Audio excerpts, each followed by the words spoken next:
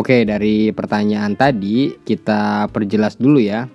Jadi Bu Evi ini punya tanah yang diperoleh dari hibah, yaitu dari tantenya. Kemudian dia ingin menjualnya. Nah, pertanyaannya, apakah suaminya perlu ikut menandatangani dalam uh, penjualan tanah tersebut atau uh, menandatangani pembuatan AJB-nya?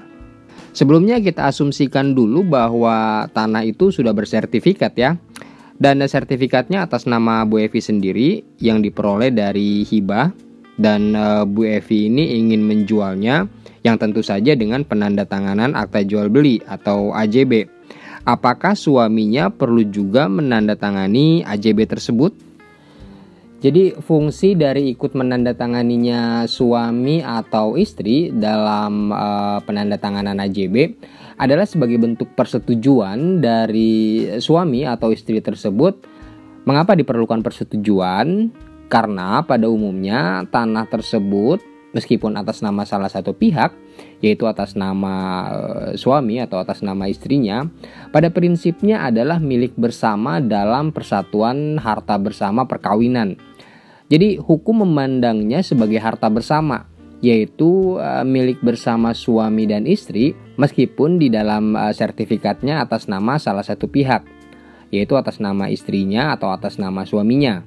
Nah, karena dianggap milik bersama, maka pasangannya juga wajib ikut menandatangani AJB sebagai bentuk persetujuan.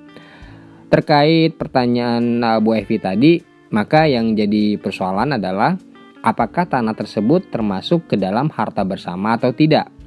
Kalau tanah itu adalah harta bersama, maka suaminya harus ikut menandatangani AJB. Kalau tanah itu tidak masuk ke dalam harta bersama, berarti e, suaminya tidak perlu ikut menandatangani AJB-nya. Seperti pernah kami bahas dalam eh, video sebelumnya, bahwa harta perkawinan itu ada tiga jenis. Pertama, harta bawaan.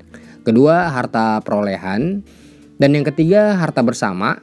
Pertama, harta bawaan yaitu harta yang dibawa oleh masing-masing suami atau istri ke dalam perkawinan yang diperoleh mereka sebelum dilangsungkannya perkawinan dan merupakan hak dari masing-masing pihak yang membawanya sehingga ketika akan dijual maka tidak perlu uh, adanya persetujuan dari pasangannya.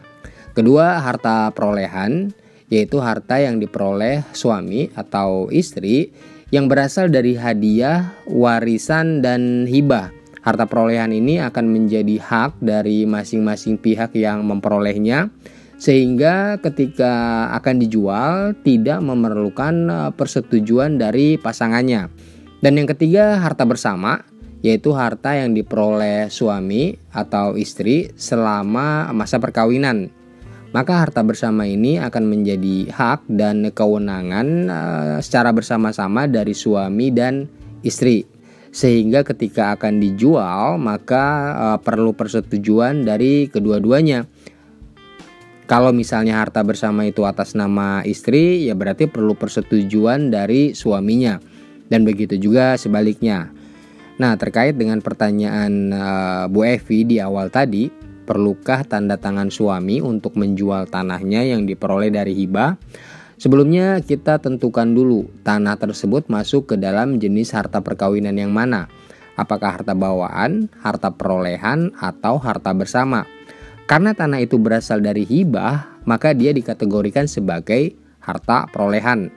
Dan sebagai harta perolehan, maka tanah tersebut berada di bawah penguasaan istri secara pribadi yang memperolehnya sehingga tidak diperlukan adanya persetujuan dari suami. Tapi meskipun secara hukum uh, tidak memerlukan persetujuan atau tanda tangan suami, dalam praktek biasanya nanti uh, eh, PPAT bisa saja untuk meminta persetujuan atau tanda tangan suaminya itu. Hal ini untuk memastikan atau untuk menegaskan bahwa semua pihak yang terkait atau kemungkinan terkait dengan tanah tersebut telah menyetujui atau menyepakati penjualan tanah tersebut sehingga e, hal ini dapat menghindari adanya sengketa atau konflik mengenai tanah itu ke depannya. Nah, demikian penjelasan kami mengenai pertanyaan di awal tadi mengenai perlu tidaknya suami atau istri ikut menandatangani akta jual beli atas penjualan tanah yang berasal dari hibah. Semoga informasi eh, singkat ini bermanfaat dan berguna ya bagi Anda untuk melakukan transaksi jual beli tanah Anda. Salam.